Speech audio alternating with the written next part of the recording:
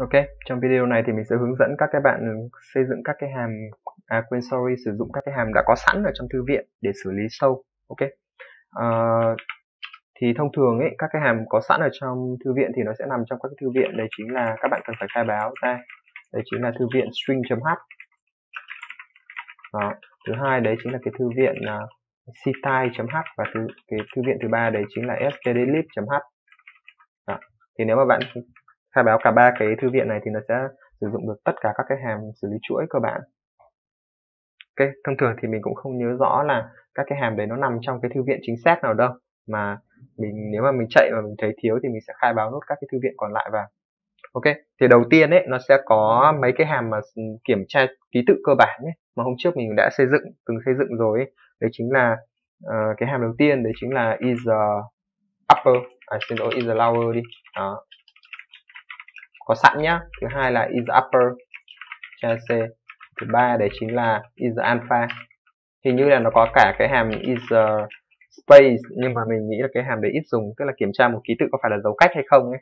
Thì cái đấy các bạn có thể uh, kiểm tra ngay bằng câu lệnh if cũng được. Hàm thứ ba đấy chính là hàm uh, to lower cha c ok. Hàm thứ năm đấy chính là to upper cha c đó uh, còn thêm một cái hàm nữa là is digit đúng không? Is digit. Đấy thì đầu tiên nó có bốn cái hàm kiểm tra cái cái cái cái một ký tự ấy. Đấy thì nó có kiểm tra in thường này kiểm tra in hoa này kiểm tra chữ cái này và kiểm tra ký tự số. Đó. thì cả bốn hàm này nếu mà nó ờ, nó là một cái loại tương ứng thì nó sẽ return một nhé ví dụ như nếu là in thường thì nó sẽ in return một còn không thì nó sẽ return không. Tương tự với ba cái hàm còn lại. Này bốn cái hàm này nó có rất là tiện nó sẽ có nhiệm vụ để nó kiểm tra cho bạn một ký tự nó có thỏa mãn là một cái cái ký tự loại ký tự mà bạn mong muốn nào hay không ok? Hai hai cái hàm tiếp theo đấy chính là hai cái hàm mà chuyển đổi giữa in hoa và in thường ấy. Hôm trước mình cũng đã từng xây dựng rồi đấy. Đấy chính là một cái ký à, một cái hàm đấy là to lower tức là nó sẽ nhận vào một ký tự và trả về với cái dạng in thường của ký tự đó. Cái hàm thứ hai đấy chính là hàm to upper đấy chính là nó sẽ nhận vào một ký tự và trả về dạng in hoa của ký tự đó thì đây chính là cái hàm 6 cái hàm con con mà xử lý ký tự mà các bạn cần phải nhớ nhé đó. Ok. Và chú ý là hai cái hàm to upper và to lower này này, các bạn phải chú ý. Đấy chính là nó không thay đổi cái ký tự mà bạn truyền vào đâu nhá. Ok. Ví dụ như thế này này. Ví dụ như bạn có một cái ờ, ký tự là cha c bằng ký tự z chẳng hạn. Như thế này. Sau đó thì bạn gọi hàm là hàm to lower và bạn truyền c vào, sau đó bạn in ra c ấy. thì các bạn chú ý như thế này đấy chính là cái hàm to lower kia nó không thay đổi cái giá trị của tham số c nhập vào đâu nhá. Thành sai là thằng c nó vẫn là ký tự z hoa đấy. Ok mình chạy thì nó dẫn ra z hoa nhá. à, mình sẽ comment cái bọn này lại. Nó sẽ vẫn ra z hoa đấy chứ nó không thay đổi ký tự mà mà mình truyền tham số vào đâu. Không phải vậy thì nếu mà uh, các bạn muốn xử lý cái cái cái ký tự in thường của cái thằng tham số mà bạn nhập vào thì bạn sẽ phải dùng nó như một ký tự khác. Đấy ok. Hoặc là bạn gán lại là c bằng tu lower của ci thì khi đó cái ký tự c này nó mới được gán là cái dạng in thường của của chính nó. Ok. Còn nếu mà bạn chỉ gọi hàm tu lower không thì, thì nó không thay đổi cái ký tự c đấy đâu nhá. Tương tự như vậy với cái hàm to upper. Đấy. Thì đấy chính là hai cái chú ý khi mà à, cái chú ý khi mà mình sử dụng hai cái hàm to lower và to upper. Bởi vì các bạn nhầm lẫn giữa cái hàm uh, hai cái hàm mà chuyển tất cả ký tự về dạng in thường và in hoa ấy, thì mấy hai cái hàm str lvkr và hàm str upr thì hai cái hàm đấy nó nhận tham số là một mảng. Thành ra là sau khi cái hàm đấy nó kết thúc thì các ký tự ở trong mảng nó sẽ bị thay đổi theo. Chứ còn hai hàm to upper và to lower này thì cái tham số của nó chỉ là một ký tự thôi, đúng không? Thành ra là sau khi hàm mà hàm kết thúc thì ký tự đấy nó sẽ không bị thay đổi. Rồi, tất nhiên, hàm tiếp theo đấy hàm string length, đúng không? Thì thằng này thì các bạn hay dùng nhất đấy chính là trả về trả về chiều dài của một sâu ok trả dần chiều chiều dài của một sâu. Ví dụ như bạn có một cái sâu c 100 sau đó bạn get sc c sau đó bạn in ra cái chiều dài của sâu thì bạn sẽ in ra phần trăm d sau đó gọi string length của c. Đó, ok. Các bạn chú ý này, khi mà các bạn khai báo là C100 như thế này thì cái 100 này không phải là string length của sâu đấy đâu nhá. 100 này nó như kiểu là cái capacity ấy, cái dung lượng có thể chứa chứa tối đa có bao nhiêu mảng có thể chứa tối đa 100 ký tự ấy. Thế còn cái string length này thì nó nó ví dụ như là bạn khai báo một cái mảng C có dung lượng là 100 nhưng mà bạn chỉ sử dụng 6 cái ô đầu tiên để lưu cái từ Python này thôi ấy, thì khi đó cái hàm string length này nó sẽ trả về cái từ độ dài của cái từ Python này này chứ không phải nó trả về cái capacity của ông C này đâu nhá. Đó. ví dụ như từ Python kia thì nó sẽ in ra là 6 đấy. Ok đó thì đấy chính là cái hàm tiếp theo mà các bạn hay dùng nhất đấy chính là hàm string length. Nó nằm trong thư viện string.h thì phải. Ok hàm tiếp theo mà các bạn hay dùng nữa đấy chính là hàm strcmp đó, chính là so sánh hai cái sâu theo thứ tự từ điển ấy. Thì hôm trước mình cũng đã xây dựng rồi, đúng không? Thì nó sẽ có ba giá trị trả về. Thứ nhất đấy chính là nếu mà c mà nhỏ hơn d theo thứ tự từ điển ấy, thì nó sẽ return với trừ một, ok? Thứ hai là c mà bằng d theo thứ tự từ điển thì nó sẽ return không. Còn c mà lớn hơn d theo thứ tự điển thì nó sẽ return một để ngày xưa mình học về hàm strcmp này thì cái cách mà mình nhớ cái giá trị trả về ấy, thì các bạn cứ cứ tưởng tượng như là cái giá trị trả về thì nó lấy thằng c trừ thằng d ấy. Đấy. Thế thì thằng c nếu mà có thứ tự từ điển nhỏ hơn thì nó sẽ return trừ một. Còn nếu mà hai thằng này bằng nhau thì nó sẽ return không. Thì con c mà có thứ tự từ điển lớn hơn d thì nó sẽ return một. Ok? Đó, ví dụ như mình có một cái sâu là c và d này. sau đó mình in ra cái um, giá trị của cái hàm strcmp của hai thằng này nhé strcmp của c và d, ok? Ví dụ như mình có từ là từ Python và từ PHP thì khi đó thằng Python này nó sẽ có thứ tự từ điển lớn hơn, đúng không? Vậy thì nó sẽ in ra là một. Ok, thế còn nếu mà ông này là PZP thì khi đó ông PZP là có thứ tự từ điển lớn hơn, thì cái hàm strcmp nó sẽ return trừ một. Còn nếu mà hai thằng này mà giống nhau y hệt thì nó sẽ return về return về không. Ok, Đấy. chú ý nhé chỗ này mà có dấu cách thì thằng Python ở trên nó lại có thứ tự từ điển lớn hơn đấy nhé rồi, ok. Thì đấy chính là cái hàm tiếp theo này. Hai hàm đầu tiên str strlen và strcmp cái hàm thứ ba, đấy chính là cái hàm strrev ok, cái hôm này mình, hôm trước mình làm cái bài này, cái hàm này rồi, đúng không?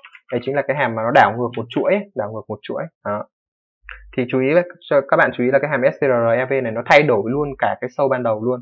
Ví dụ như bạn get s thằng c nhé sau đó là bạn gọi hàm là strrev và truyền c vào ấy. Bây giờ bạn in ra thằng c nhá, thì nó sẽ là, thằng c này bây giờ nó cũng sẽ được lật ngược luôn.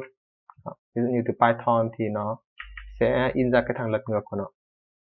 Đấy chính là cái hàm tiếp theo mà mình hay dùng. Ok. Ba cái hàm này thì không có vấn đề gì cả đúng không?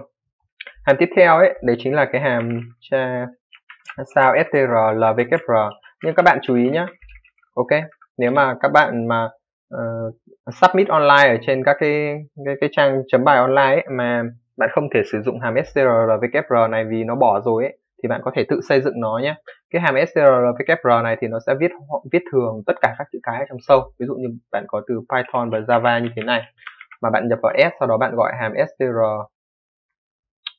strlvkr ấy và bạn truyền cái sâu vào ấy thì khi đó bạn sau khi cái sâu này nó à cái hàm này nó kết thúc ấy thì tất cả các ký tự ở trong sâu nó sẽ được viết thường hết.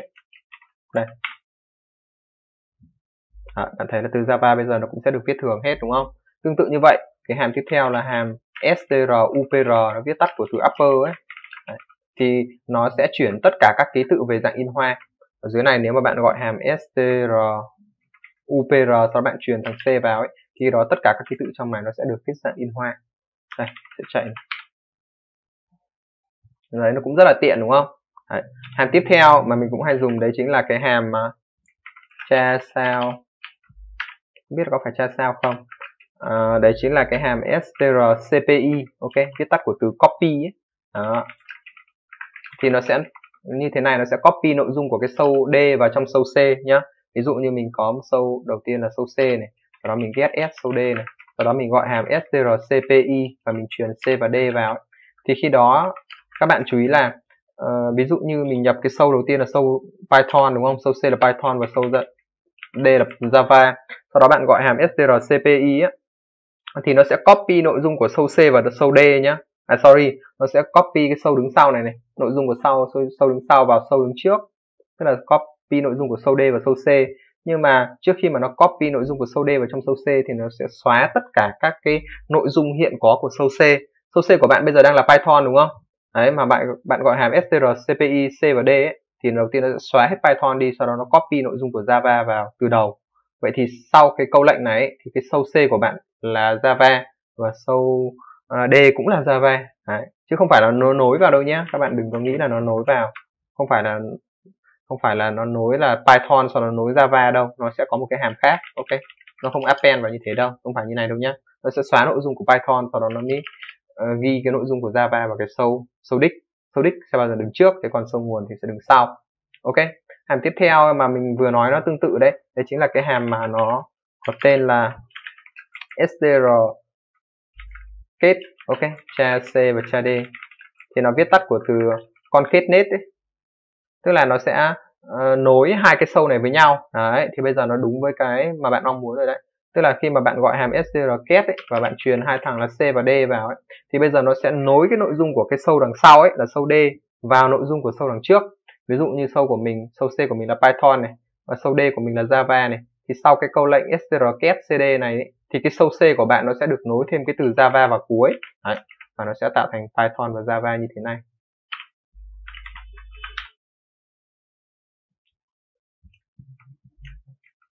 À, từ từ. Ủa, à, xin lỗi mình phải xóa thông java này đi.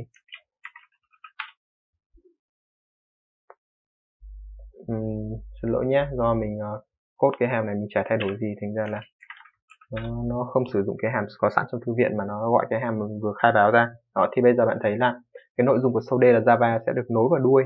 Đấy nhớ nhé vậy thì khi mà bạn muốn nối hai cái sâu này với nhau thì bạn phải sử dụng strcat chứ đừng sử dụng strcopy nhé đó, rồi hàm tiếp theo.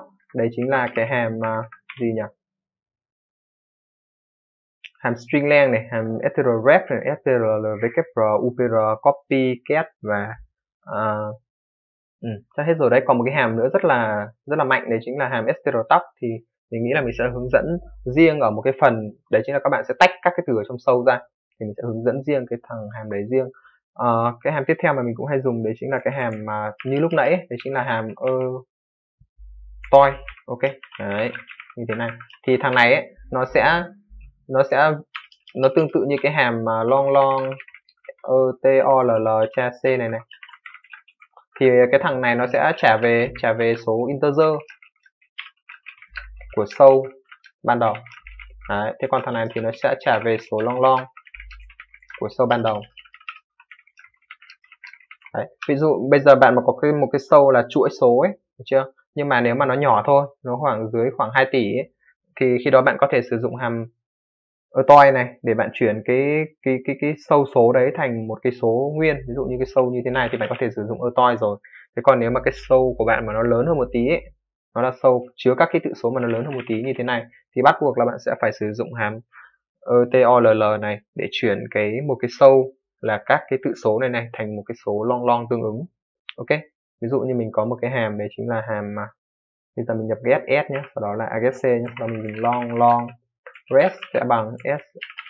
E đó là là nó truyền c và bây giờ mình in ra thằng rest. Đó, thì bây giờ bạn có thể sử dụng cái thằng rest nó như là một số long long rồi.